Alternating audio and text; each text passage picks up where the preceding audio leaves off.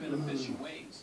Really is to really just throw the ball mm. inside, get these boys actively involved so they can use their physicality to their advantage. Because from a talent mm. perspective, they don't have an edge over Fucking Miami. They don't have an edge over goddamn it. Brooklyn for crying out loud. You've got to use your size to your advantage. Yeah, no question. It's a great point. Hibbert goes out and calls his teammates selfish. He backs it up by going out. God One damn more. it.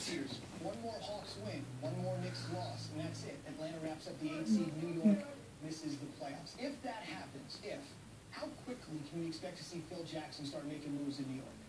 Well, I, I think that obviously the summer is when it all counts. I mean, uh, the New York Knicks don't have a first round pick. We all recognize that. They've got a few people on their roster you couldn't give away for a box of cookies. That's the reality. And so when you look at them right now, it's really about convincing Carmelo Anthony to either opt in and stay an additional year before he's looking for a long-term deal or to link him to a long-term deal. You're not going to convince Amar'e Stoudemire to opt out of the 23.4 million he's owed next season because he knows no one is going to stand up and give him any comparable dollars uh, due to his uh, suspect health over the last